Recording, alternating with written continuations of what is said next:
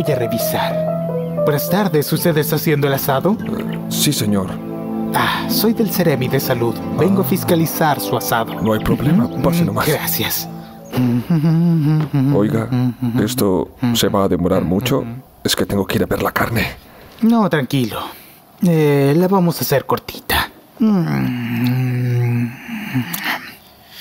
Ya empecemos. Eh, ¿Cuántas personas hay ahora en su casa? Ah, Ahora, bueno, soy yo, mi señora, Ajá. también eh, están mis tres hijas y nadie más. Qué raro. Me dijeron que acá vieron a 15 personas. 15 personas, imposible.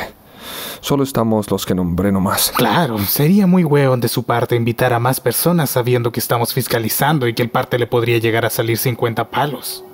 No, claro. eh, No me voy a arriesgar a que me saquen un parte. ¿Para qué? Me aguanto y después haré un asadito cuando se pueda nomás. Eso exactamente digo yo. Pero dígame, ¿por qué compró tanta carne? Es que somos buenos para comer. Me imagino. O sea que entre ustedes cinco se van a comer el cordero entero. Sí, de más. ¿Y todas esas cavas de cerveza que están afuera? ¿También se las van a tomar ustedes cinco? Vamos a guardar para el año nuevo. ¿Y los 200 anticuchos también los van a guardar? Sí, para el almuerzo de mañana.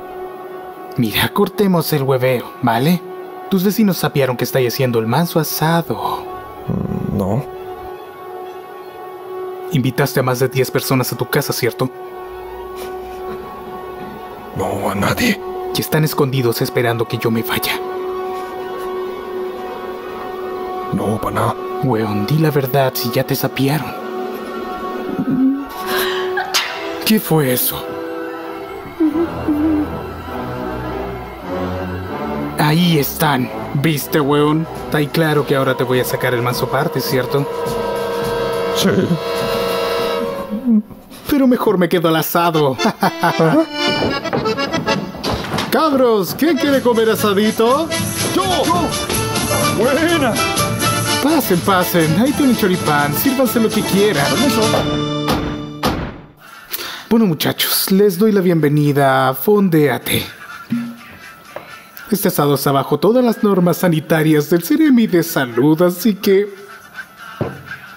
a disfrutar con responsabilidad. La vamos a pasar tan bien los tres. Oye, weón, este es el peor asado del mundo, ¿sí o no? Tenéis razón.